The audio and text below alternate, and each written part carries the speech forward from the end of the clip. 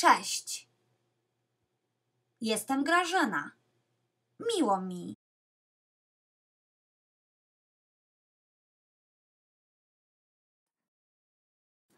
Grażyna starts the first episode by saying, Cześć, jestem Grażyna. She uses the word cześć, which is the most popular uh, Polish informal greetings, and it means hi. Um, very often, cześć is also used as bye uh, when it's used together with pa over here. Uh, so it's an informal greeting, uh, very commonly used in everyday Polish, and together with cześć pa, it also means bye. Cześć is not the only greeting uh, that we can, informal greeting that we can use uh, in Polish. We can also use hejka, the one here, hejka, or just hey. Uh, that's also absolutely fine. So either hejka or hey. Um, but there are many other ways of greeting uh, and uh, bidding farewell to someone. Cześć uh, means hi, uh, and as I mentioned, it's an informal greeting. So, uh, as Polish distinguishes between the formal and informal type of speech, uh, we cannot use this uh, greeting in business like professional situations, but only when we refer to someone we know, um, our friend or acquaintance, uh, someone younger, much younger than us. This is a very casual um, podcast, so therefore Grażyna chooses cześć instead of a dzień dobry Państwu. So uh, this one together with this one. Uh, if she would have addressed um, listeners in this way, that would have meant good day or good morning, ladies and gentlemen, and that would have been a little bit too much, if you know what I mean. Uh, it would have been very, very professional. She would have had to carry on with sir or madam, um, Mr., Miss, uh, and um, that would be uh, definitely uh, too professional. So, therefore, she chooses cześć. Grażyna finishes her episode by uh, saying miło mi. Um, it's a pleasure, nice uh, to meet you. Um, I'll explain uh, a little bit more about this expression in the further slide. Uh, so she doesn't really say bye in this episode, but if she, if she would have, then um, she would have chosen uh, either na razie, this one here, pa, here, or just cześć pa. As I said at the very beginning, we can combine these two together. So let's summarize. Um, in this part, um, uh, we covered uh, the first word uh, that Grażyna uses in the first episode, which is cześć.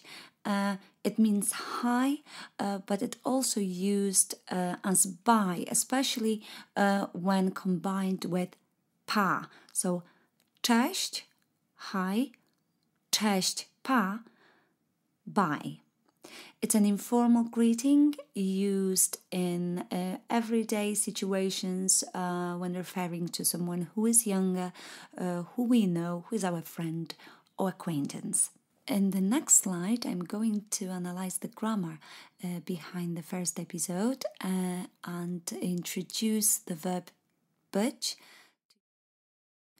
so let me start this slide by uh, saying that I'm going to simplify uh, the grammar subject as much as I can for you. This doesn't mean that the Polish grammar is simple. Um, and you're not going to learn much. Uh, to the contrary, you are going to learn a lot, really a lot, but in your own pace, step by step, uh, without being um, overloaded by uh, too much information, especially at the very beginning, and being confused by it. So um, there's no point in me giving you uh, at this stage um, uh, the types of conjugations in Polish, for instance, or the endings of infinitives, talking about um, how many uh, we've got and uh, what they are. It's pointless. It could be off putting, it could be confusing, uh, but you are going to learn about it in the in the future. So just bear with me, uh, take it step step by step. You have to learn to walk before you run. So let's start on the verb być, which means to be, być, and być is an infinitive. Uh, what does it mean? Infinitive. An infinitive is an uh, unaltered, unchanged um, form of a verb. Uh, so nothing has has been done to it yet. Um, uh, it looks as it would appear in a dictionary, if you like. So być is an infinitive. However, its changed forms are here in white, and they are changed accordingly to who is speaking in a sentence, who is a subject, who is speaking, and who could be speaking. Well, ja, I could be speaking. Ja means I. Ty is you. On, he. Ona, she. Ono, it. I'm going to omit uh, these additional words uh, here for now, so bear with my. And here in plural, who could be speaking in plural? We've got me, which is we, wy, which means you, plural, as in you people. And here we've got oni and one, both mean they, but one are reserved for uh, feminine nouns only. And again, in future, I'll explain it all to you. Grażyna says, Cześć, jestem Grażyna. Uh, jestem, I am. Uh, and although I just said I am, you can clearly hear that in the post podcast, Grażyna doesn't say ja jestem. She doesn't include ja, I uh, in it. She doesn't because she doesn't have to. Uh, jestem form jestem is only reserved for ja, as you can see. It's the only form that ends with the letter M. Uh, so uh, Grażyna doesn't have to uh, use I uh, as well. Ja. Jestem is absolutely enough. Jestem means I am. And it's exactly the same with the second form. Uh, jesteś, it's again, it's the only one that uh, ends with S accent, consonant sh, jesteś, which means you are. And that's the reason why these words, we call them personal pronouns, are in brackets. Uh, you don't have to include ty in jesteś either. So jesteś is absolutely enough again. Uh, however, if you look at jest, it's shared between on, ona, ono, and other words. Uh, and in this case, we have to um, use, we have to include the person because otherwise it would be uh, very unclear uh, who we are talking about or referring uh, to. Um, uh, unless it's very clear from the context. But if it's not, the person needs to be included. So on jest, he is, ona jest, she is, and ono jest, it is. In plural, uh, we have again the same situation with my and the, so we and you. We've got reserved forms for these personal pronouns. So we can say jesteśmy, we are, uh, instead of my jesteśmy, right? And then jesteście for you are, uh, without adding uh, the.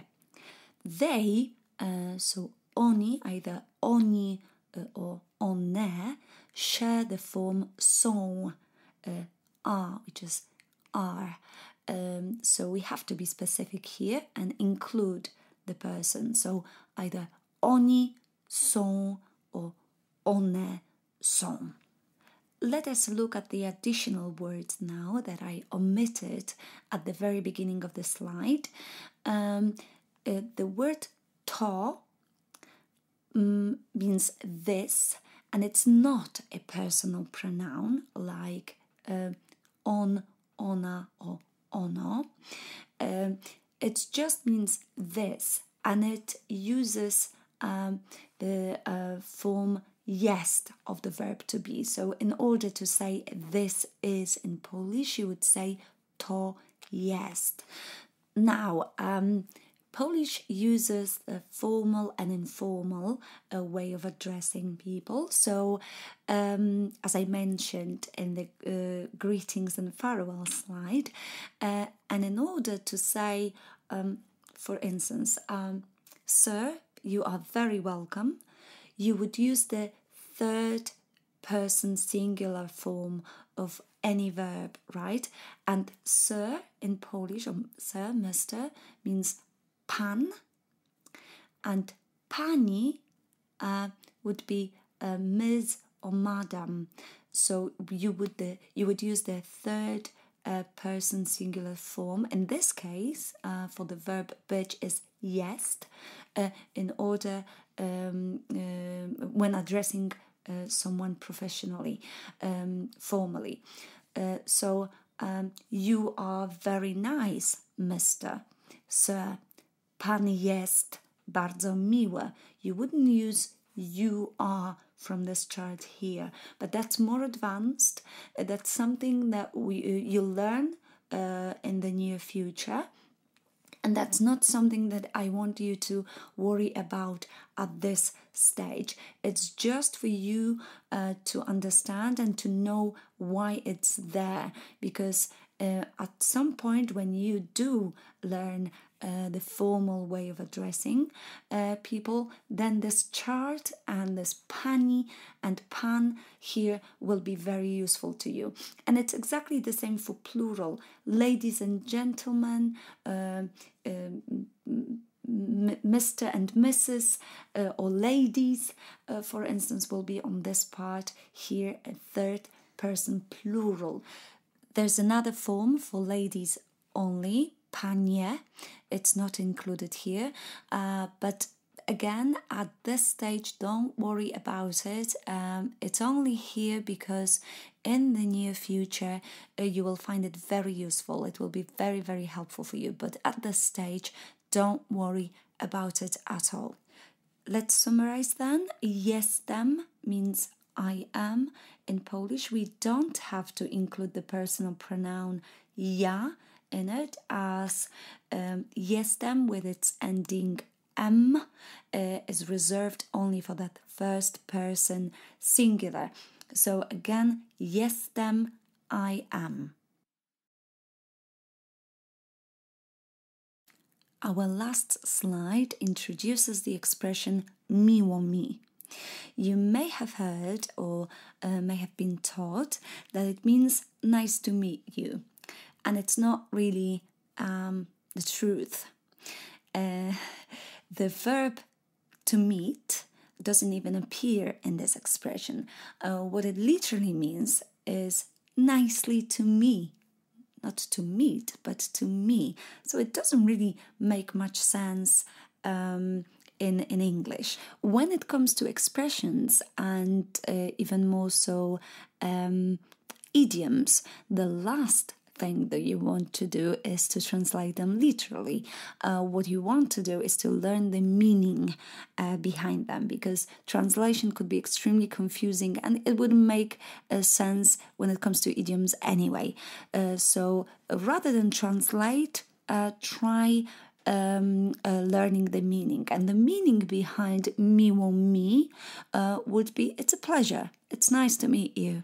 Um, so you would use this expression when introducing yourself to someone uh, or when someone is introduced to you.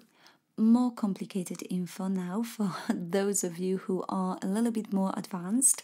Uh, miło is an adverb um, lots of adverbs in Polish and with the vowel o. Miło is one of them, nicely. Um, and uh, mi is the personal pronoun ja in dative case. So uh, ja becomes mi in dative. So we've got uh, an adverb and a personal pronoun here in this expression.